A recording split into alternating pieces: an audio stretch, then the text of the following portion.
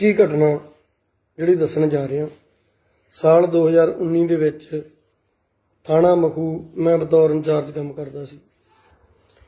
ਇਹ ਰਾਜਾ ਵੜਿੰਗ ਅੰਮ੍ਰਿਤਸਰ 에ਅਰਪੋਰਟ ਤੋਂ ਇਹਨੇ ਜਾਣਾ ਸੀ ਮੁਕਸਰ ਨੂੰ ਤੇ ਧੁੰਦ ਉਸ ਦਿਨ ਬਹੁਤ ਜ਼ਿਆਦਾ ਸੀ। ਤੇ ਸਾਨੂੰ ਸਾਡੇ ਡੀਐਸਪੀ ਦਫ਼ਤਰ ਤੋਂ ਫੋਨ ਆਇਆ ਵੀ ਇਹਨੇ ਉੱਥੇ ਕੁਲਵੀਰ ਸਿੰਘ ਜੀਰਾ ਦੀ ਕੋਠੀ, ਕਿਉਂਕਿ ਉਸ ਵੇਲੇ ਉਹ ਵੀ ਐਮਐਲਏ ਸੀਗੇ। ਵੀ ਉੱਥੇ ਜਾਣਾ ਵੀ ਤੁਸੀਂ ਧੁੰਦ ਜ਼ਿਆਦਾ ਵੀ ਇਹਨੂੰ ਪਾਇਲਟ ਕਰਕੇ ਤੇ ਉਹਦੇ ਘਰ ਤੱਕ ਛੱਡ ਜਿਓ ਇਹ ਮਖੂ ਪਹੁੰਚ ਗਿਆ, ਅਸੀਂ ਮਖੂ ਫਾਟਕਾਂ ਦੇ ਜੀਰੇ ਵਾਲੇ ਪਾਸੇ ਖੜੇ ਸੀ, ਇਹ ਅੰਮ੍ਰਿਤਸਰ ਵਾਲੀ ਸਾਈਡ ਫਾਟਕ ਬੰਦ ਸੀ। ਤੇ ਉਸ ਵੇਲੇ ਕਿਉਂਕਿ ਰਾਤ ਦਾ ਟਾਈਮ ਸੀ, ਕੋਈ ਰਸ਼ ਤਾਂ ਹੈ ਨਹੀਂ ਸੀ। ਇੱਕ ਇਹਦੀ ਗੱਡੀ ਖੜੀ ਸੀ ਤੇ ਇਹਦੀ ਗੱਡੀ ਦੇ ਨਾਲ ਇੱਕ ਗੱਡੀ ਲਿਆ ਕੇ ਬਰਾਬਰ ਮੁੰਡਿਆਂ ਨੇ ਖੜੀ ਕਰ ਦਿੱਤੀ।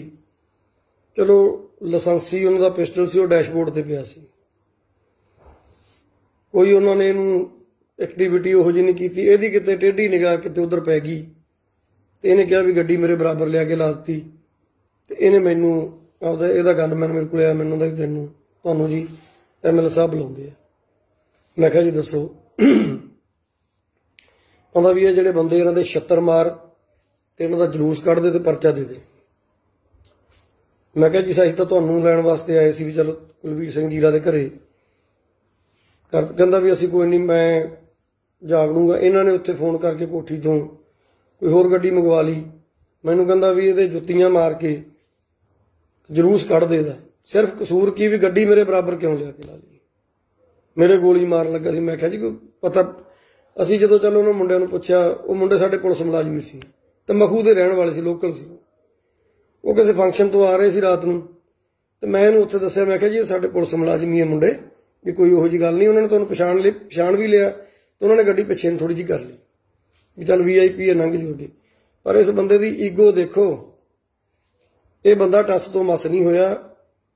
ਪਰਚਾ ਦੇਣ ਦੀ ਜਿੱਦ ਤੇ ਅੜ ਗਿਆ ਐਸਐਸਪੀ ਸਾਹਿਬ ਦਾ ਫੋਨ ਆ ਗਿਆ ਵੀ ਦਿਓ ਪਰਚਾ। ਮੈਂ ਕਿਹਾ ਜੀ, ਬਣਦਾ ਹੀ ਨਹੀਂਗਾ ਪੁਲਿਸ ਮੁਲਾਜ਼ਮ ਮੁੰਡਾ, ਲਾਇਸੈਂਸੀ ਅਸਲਾਫ ਦੀ ਗੱਡੀ 'ਚ ਰੱਖੀ ਬੈਠਾ, ਕੋਈ ਗੁਨਾਹ ਥੋੜੀ ਕਰ ਲਿਆ। ਸਿਰਫ ਇੱਕ ਇਸ ਗੱਲ ਦੀ ਈਗੋ ਵੀ ਇਹਦੇ ਬਰਾਬਰ ਆ ਕੇ ਖੜ ਗਿਆ ਉਹ। ਹੱਦ ਹੋ ਮੈਂ ਕਿਹਾ ਮੈਂ ਮੌਕੇ ਤੇ ਪ੍ਰੈਜ਼ੈਂਟ ਹਾਂ। ਗਨਮੈਨ ਨਾਲ ਹੈ ਸਾਰੇ, ਉੱਥੇ ਇਹਦੇ ਗਨਮੈਨ ਨਾਲ ਕੋਈ ਇਹ ਜੀ ਗੱਲ ਹੀ ਹੈ ਨਹੀਂ। ਪਰ ਇਸ ਬੰਦੇ ਨੇ ਤਿੰਨ ਦਿਨ ਉਹ ਮੁੰਡਾ ਥਾਣੇ ਬਿਠਵਾ ਛੱਡਿਆ, ਨਜਾਇਜ਼। ਨਾਲ ਜੀਰੇ ਵਾਲਾ ਮਿਲੇ ਸਾਡਾ। ਸਾ, ਅੱਧੀ ਮਖੂ ਦੇ ਉਹਨਾਂ ਦੇ ਵਿਚਾਰਿਆਂ ਦੇ ਜਿਹੜੇ ਕੋਈ ਮੋਹਤਵਾਰ ਬੰਦੇ ਸੀ, ਪਹਿਲਾਂ ਤਾਂ ਉਹਨਾਂ ਦੀਆਂ ਮਿੰਟਾਂ ਕਢਾਈਆਂ ਨੇ ਕਲਵੀਰ ਜੀਰੇ ਦੇ ਘਰੇ। ਫਿਰ ਉਹ ਗਿੱਦੜਬਾਹੇ ਜਾ ਕੇ ਦੀਆਂ ਮਿੰਟਾਂ ਕੱਢ ਕੇ ਆਏ। ਫਿਰ ਪਤਾ ਨਹੀਂ ਤੀਜੇ ਦਿਨ ਖਣੀ ਚੰਡੀਗੜ੍ਹ, ਚੌਥੇ ਦਿਨ ਇਸ ਬੰਦੇ ਨੇ ਉਹ ਮੁਲਾਜ਼ਮ ਦਾ ਖੇੜਾ ਛੱਡਿਆ। ਤੇ ਤੁਹਾਨੂੰ ਸ਼ਰਮ ਸ਼ਰਮ ਨਹੀਂ ਆਉਂਦੀ? ਜਦੋਂ ਤੁਸੀਂ ਇਹ ਜਿਹੀਆਂ ਕਰਤੂਤਾਂ ਕਰਦੇ ਆ, ਤੇ ਅੱਜ ਜੇ ਮਾੜੀ ਮੋੜ ਕੋਈ ਗੱਲ ਹੁੰਦੀ ਹੈ ਤਾਂ ਤੂੰ ਟਾਂ ਟਾਂ ਲੱਗ ਜਾਣਾ ਕਰਨ। ਆ ਸਾਡੇ ਤੇ ਉਹ ਐਲੀਗੇਸ਼ਨ ਲੱਗ ਗਿਆ। ਭਾਈ ਐਲੀਗੇਸ਼ਨ ਸੱਚੇ ਹੀ ਲੱਗੇ ਆ। ਸੰਦੀਪ ਸੰਧੂ ਹੁਣਾਂ ਤੇ ਜੇ ਲੱਗੇ ਆ, ਤੇ ਬਰਦਾਸ਼ਤ ਕਰਨੇ ਸਿੱਖੋ। ਜੋ ਤੁਸੀਂ ਕਿਸੇ ਨਾਲ ਧੱਕਾ ਕਰਾਉਣੇ ਆ। ਉਹ ਧੱਕਾ ਨਹੀਂ। ਕੀ ਕਸੂਰ ਸੀ ਉਸ ਮੁੰਡੇ ਦਾ? ਮੈਂ ਬਤੌਰ ਇਸ ਚੋਂ ਤੇਰੀਆਂ ਮਿੰਟਾਂ ਕੱਢੀਆਂ। ਮੈਂ ਕਿਹਾ ਯਾਰ ਕੋਈ ਕਸੂਰ ਨਹੀਂ ਮੁੰਡਾ ਵੈਰੀਫਾਈ ਕਰ ਲਿਆ। ਮੁਲਾਜ਼ਮ ਹੈਗੇ ਆ, ਕੋਈ ਉਹੋ ਜੀ ਅਪਰਾਧੀ ਥੋੜੀ ਹੈ?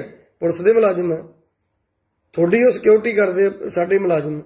ਤੇ ਤੁਸੀਂ ਇਸ ਈਗੋ ਤੱਕ ਵੀ ਇੱਕ ਗੱਡੀ ਬਰਾਬਰ ਖੜੀ ਕਰ ਦਿੱਤੀ ਮੇਰੇ ਲਿਆ ਕੇ। ਮਖੂ ਦੀ ਘਟਨਾ ਤੈਨੂੰ ਯਾਦ ਹੋਣੀ ਹੈ। ਕਦੇ ਯਾਦ ਆ ਗਈ ਤੇ ਸ਼ਰਮ ਨਾਲ ਮਰ ਜੀ ਜਦੋਂ ਹੁਣ ਆ ਚੋਰਾਂ ਦੀ ਖਾਤਰ ਤੂੰ ਬੋਲਦਾ। ਸਾਨੂੰ ਦੁੱਖ ਹੁੰਦਾ ਇਹਨਾਂ ਚੀਜ਼ਾਂ ਦਾ ਜੋ ਤੁਸੀਂ ਬੋਲਦੇ ਆ। ਅੱਜ ਮੈਨੂੰ ਪਤਾ ਲੱਗਿਆ ਤੂੰ ਅਮਰਤਪਾਲ ਦੇ ਖਿਲਾਫ ਦਰਖਾਸਤ ਦਿੱਤੀ ਹੈ। ਡੀਜੀਪੀ ਸਾਹਿਬ, ਤੁਹਾਡਾ ਕਿਰਦਾਰ ਕੀ ਆ? ਕਦੇ ਸੋਚਿਆ ਬੈਠ ਕੇ? ਤੁਸੀਂ ਕੀ ਕੀਤਾ ਪੰਜਾਬ ਨਾਲ? ਤੂੰ ਫਰੀਦਕੋਟ ਜਿਹੜੇ ਤਿੰਨ ਕਤਲ, ਤੇਰੇ ਸਾਲੇ ਦੇ ਖਾਤੇ 'ਚ ਪੈਂਦੇ ਆ, ਤੇਰੇ 'ਚ ਪੈਂਦੇ ਆ, ਦੇ ਦੇਗਾ ਜਵਾਬ ਕਦੇ ਨਾ ਲੋਕਾਂ ਨੂੰ? ਦੇ ਸਕਦਾ? ਤੁਸੀਂ ਲੁੱਟ ਕੇ ਖਾ ਕੇ ਪੰਜਾਬ ਨੂੰ ਬਰਬਾਦ ਕਰਤਾ ਤੁਸੀਂ। ਤੁਸੀਂ ਕਿਹੜੇ ਮਹਿਕਮੇ ਦੀ, ਸਾਡੇ ਮਹਿਕਮੇ ਦਾ ਤੁਸੀਂ ਜਖਣਾ ਕੱਢ ਦਿੱਤੀ ਤੁਸੀਂ। ਹਜੇ ਮੈਂ ਇਦੋਂ ਗਾਂ ਅਜੇ ਦੱਸੂਗਾ ਜੋ ਕੁਛ ਰਧਾਵੇ ਦੀ ਕੋਠੀ 'ਚ ਹੁੰਦਾ ਰਿਹਾ, ਡੀਜੀਪੀ ਨਾਲ। ਬਾਕੀ ਤਾਂ ਚਲੋ ਸਾਡੇ ਤਾਂ ਛੋਟੇ, ਮੈਂ ਮੈਨੂੰ ਰੀਜੁਆਇਨ ਜਦੋਂ ਕਰਾਉਂਦੇ ਸੀ ਧੱਕੇ ਨਾਲ, ਤੇ ਮੈਂ ਉੱਥੇ ਦੱਸੂਗਾ ਤੁਸੀਂ ਕੀ ਕੀ ਕਰਦੇ ਨੇ ਉੱਥੇ ਅਫਸਰਾਂ ਦੇ ਨਾਲ। ਤੁਹਾਡੀ ਕੀ ਵਤੀਰਾ ਤੁਹਾਡਾ? ਸ਼ਰਮ ਹੋਣੀ ਚਾਹੀਦੀ ਤੁਹਾਨੂੰ। ਚੰਗਾ, ਮੈਂ ਤਾਂ ਕਹਿੰਦਾ, ਮੈਂ ਮਾਨ ਸਾਹਿਬ ਨੂੰ ਬੇਨਤੀ ਕਰਦਾ ਵੀ ਇਹਨਾਂ ਨੂੰ ਸਪੇਅਰ ਨਾ ਕਰੀ। ਇਹ ਉਹ ਉਹ ਇਹ ਸੱਪ ਨੇ ਜਿਨ੍ਹਾਂ ਨੇ ਆਪਦੇ ਬੱਚੇ ਖਾ ਲਏ ਇਹਨਾਂ ਨੇ। ਪੰਜਾਬ ਦੇ ਲੋਕਾਂ ਨੇ ਇਹਨਾਂ ਨੂੰ ਮਤਦਾਨ ਹੁੰਦਾ ਵੀ ਆਪਦੀ ਮਤ ਦਾ ਦਾਨ ਕੀਤਾ, ਤੁਹਾਨੂੰ ਵੋਟ ਪਾਉਣੀ।